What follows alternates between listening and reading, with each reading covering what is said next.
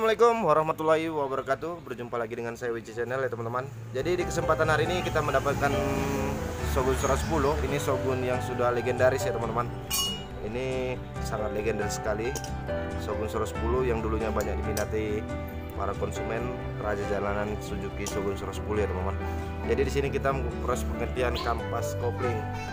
Jadi teman-teman uh, di sini kita melakukan proses pengganti kampas kopling jadi ini buat teman-teman pemula ya yang tidak punya tracker ataupun yang bingung cara masang kampas koplingnya tanpa menggunakan tracker teman-teman bisa menggunakan akal sehatnya teman-teman dengan cara otak-atik sedikit tanpa menggunakan tracker.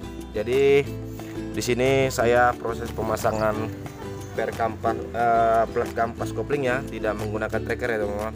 Karena kebetulan trackernya bukan tidak ada kebetulan lagi dipinjam ke teman jadi kita menggunakan uh, tambal ban.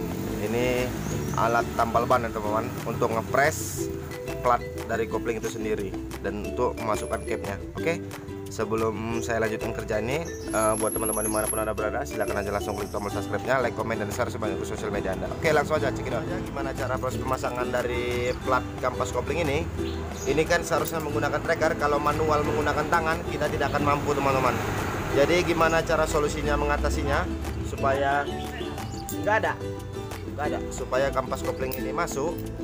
Yuk langsung aja ikuti terus videonya. Saya hanya menggunakan alat tambal ban ya teman-teman. Dan menggunakan satu buah lahar yang ukurannya besar. Teman-teman bisa menggunakan lahar ukuran 6007 ataupun lahar yang lain seperti lahar sokar ataupun lahar yang gede ya teman-teman. Oke langsung aja kita bahas pemasangannya.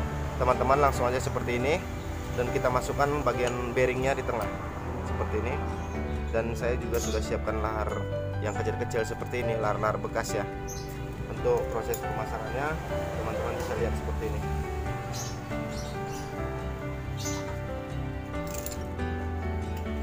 Saya menggunakan cungkilan ban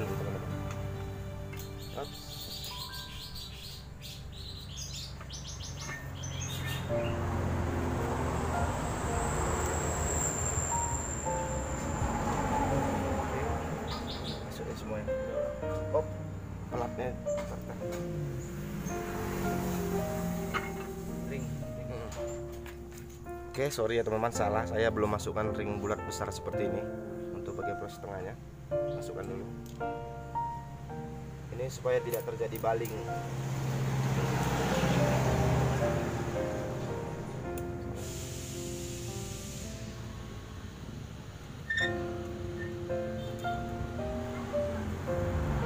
好，那先那先，好。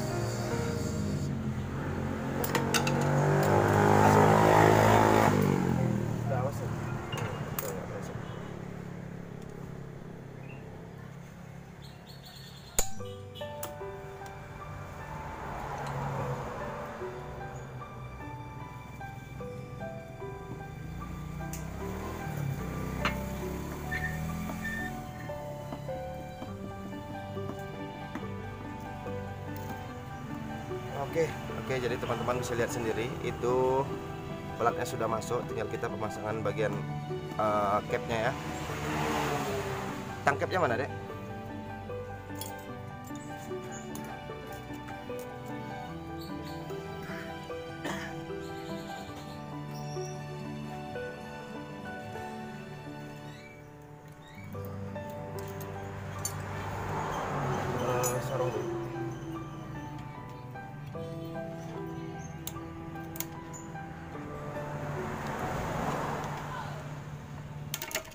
Oke, oke teman-teman, jadi ini sudah masuk ya, sudah terpasang. Oke, langsung aja kita buka kembali.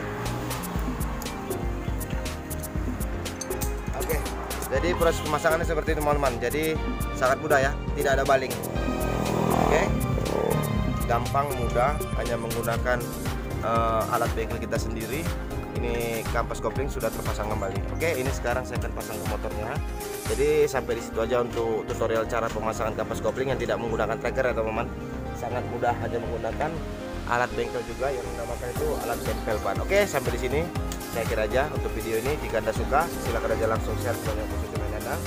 Dan jangan lupa aktifkan tombol notifikasi sebelah kiri anda dan jangan lupa juga subscribe oke saya kira aja wassalamualaikum warahmatullahi wabarakatuh bye bye salam otomotif